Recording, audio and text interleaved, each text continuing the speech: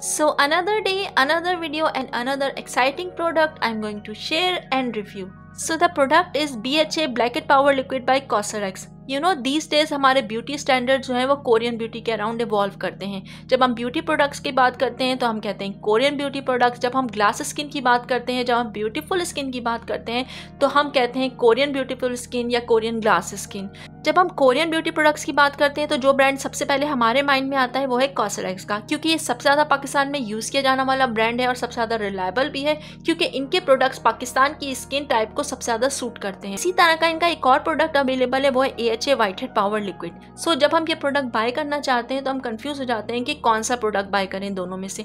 कौन सा ज़्यादा हमारे स्किन केयर के इशूज़ को टारगेट करेगा, कौन सा ज़्यादा हमारे लिए बेनिफिशियल है।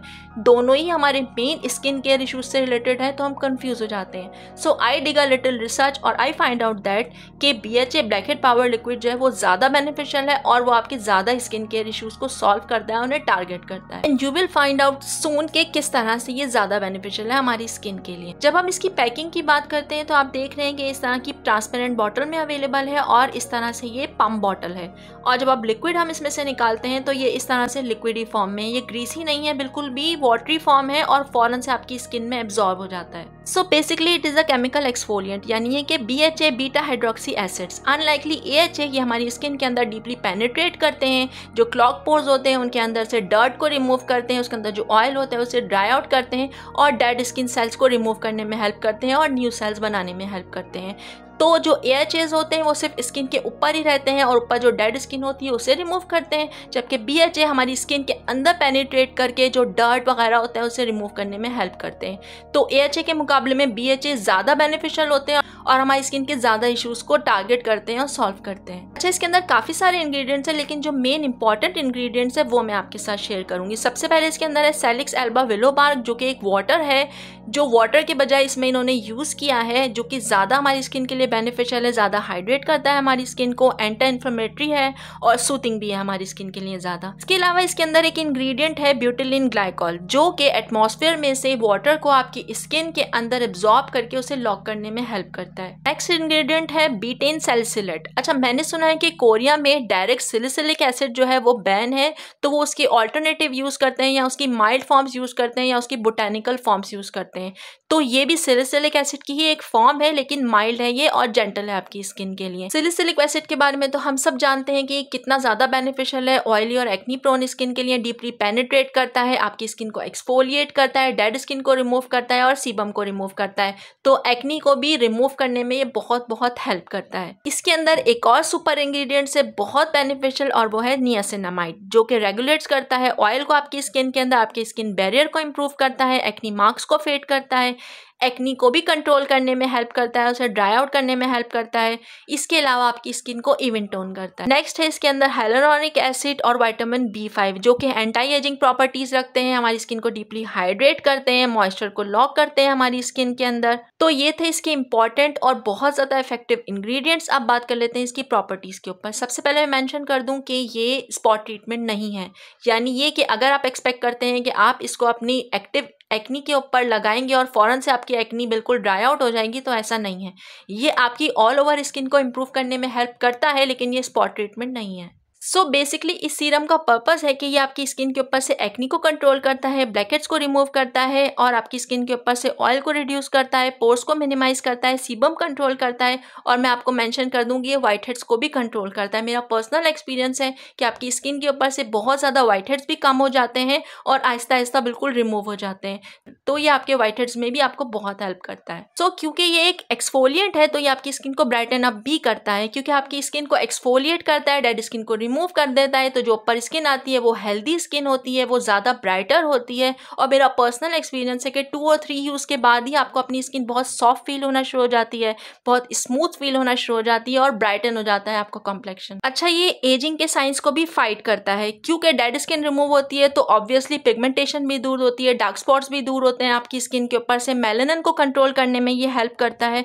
तो इसके अंदर एंटी एजिंग प्रॉपर्टीज़ भी हैं। One more thing to mention ये आपकी स्किन के लिए बहुत ज़्यादा जेंटल है। लाइक अदर एक्सफोलियंट्स बिल्कुल भी हार्श नहीं है आपकी स्किन के लिए। आपकी स्किन को ओवर सेंसिटिव नहीं बनाता। आपकी स्किन के ऊपर कोई टिंगलिंग इफ़ेक्ट नहीं देता। बहुत फ़ौरन से एब्जॉर्ब हो जाता है आपकी स्किन के अंदर। कोई रेजिड्यूज नहीं छोड़ता ड्राई आउट नहीं करता आपकी स्किन के ऊपर।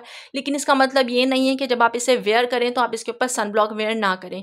आप जब भी सनलाइट में जाएँ हीट में जाएँ तो आपको सनब्लॉक वेयर करना है फिफ्टी प्लस चाहे आपका एक्सफोलियंट कितना भी माइल्ड हो जेंटल हो, लेकिन आपको सनब्लॉक ज़रूर वेयर करना है, वरना आपकी स्किन स्पॉयल हो सकती है। एक और बात कि आप इसको डेली भी वेयर कर सकते हैं और इसको आप डे टाइम में भी वेयर कर सकते हैं। लाइक अदर एक्सफोलियंट्स ये नहीं कि आप इसको सिर्फ़ रात में ही लगाएँगे, दिन में लगाएँगे तो आपकी स्किन को स्पॉयल कर देगा, आप इसको दिन में भी लगा सकते हैं सनब्लॉक के साथ, बिल्कुल भी आपकी स्किन को इरिटेट नहीं करेगा और आप इसको डेली यूज़ कर सकते हैं। और ये बिल्कुल भी ओवर ड्राइंग नहीं है आपकी स्किन के लिए. इनफैक्ट ये आपकी स्किन को डीपली मॉइस्चराइज रखता है हाइड्रेट रखता है, क्योंकि इसके अंदर बहुत सारे ऐसे इंग्रेडिएंट्स मौजूद हैं जो आपकी स्किन को हाइड्रेट रखने में हेल्प करते हैं.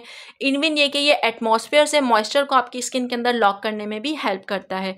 और इसके अलावा ये सिलिकॉन फ्री जेल है बिल्कुल. तो क्योंकि बीएचए आपकी स्किन के अंदर डीपली पेनेट्रेट करता है और आपके जो पोर्स होते हैं, उसके अंदर जितना भी डर्ट होता है, उसके अंदर जितना भी ऑयल होता है और जितनी भी डेड स्किन होती है आपकी, उसको रिमूव करने में, उसको डिजोल्व करने में ये हेल्प करता है तो इसकी वजह से आपकी स्किन के ऊपर ब्लैक हेड्स भी नहीं आते वाइट हेड्स भी नहीं आते और यही डर्ट जो बाद में जाके आपकी स्किन के ऊपर पिंपल्स बना देते हैं तो ये पिंपल को भी डील करने में हेल्प करता है। सो so, अगर मैं सम अप करूँ इसके रिजल्ट्स को और अपने पर्सनल एक्सपीरियंस को तो आई मस्ट से दैट के it works yes it is effective for your skin लेकिन आपको इसे रेगुलरली यूज़ करना है रेगुलरसली यूज़ करना है अपनी स्किन के ऊपर अपनी स्किन केयर का इसको हिस्सा बनाना है।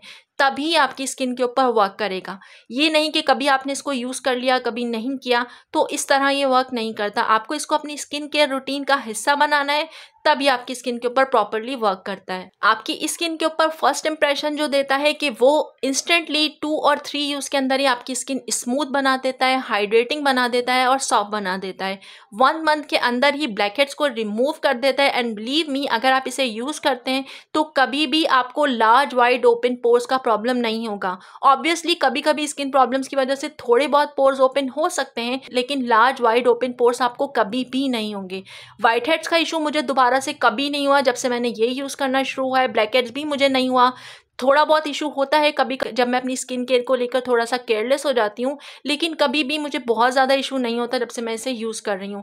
पिंपल्स में भी फ़ौरन वर्क करता है या आपके, यानी आपके बहुत ज़्यादा एक्टिव एक्नी नहीं है तो कुछ ही यूज़ के बाद ड्राई आउट होना शुरू हो जाती है। इवन टोन हो जाती है आपकी स्किन ब्राइटर लुकिंग हो जाती है क्योंकि डेड स्किन रिमूव हो जाती है आपके ऊपर से। सो बेसिकली ये आपकी स्किन को हेल्दी और हेल्दियर बनाने में हेल्प करता है।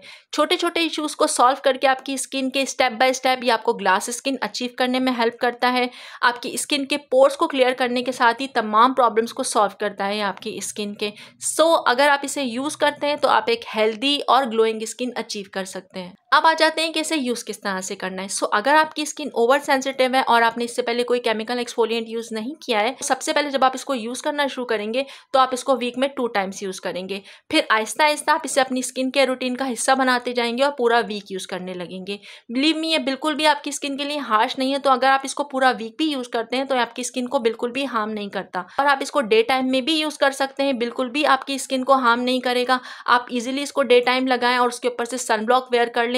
लेकिन सनब्लॉक वेयर करना मस्ट है। फिफ्टी प्लस सनब्लॉक वेयर करेंगे जब आप कोई भी केमिकल एक्सफोलियंट लगाएँगे, अगर वो हार्श है या वो आपकी स्किन के लिए जेंटल है ये मैटर नहीं करता, जब भी आप केमिकल एक्सफोलियंट लगाते हैं तो आपको ज़रूर सनब्लॉक वेयर करना पड़ता है, वो भी फिफ्टी प्लस अच्छा एक और इंपॉर्टेंट क्वेश्चन जो बहुत से लोग करते हैं कि क्या इसके साथ वाइटामिन सी सीरम यूज़ किया जा सकता है या नहीं? तो इसके बारे में कुछ लोग कहते हैं कि यूज़ कर सकते हैं कुछ कहते हैं कि नहीं कर सकते। सो so, अगर आपकी स्किन ओवर सेंसिटिव नहीं है तो आप वाइटामिन सी सीरम यूज़ करने के थोड़ी देर बाद इसको यूज़ कर सकते हैं।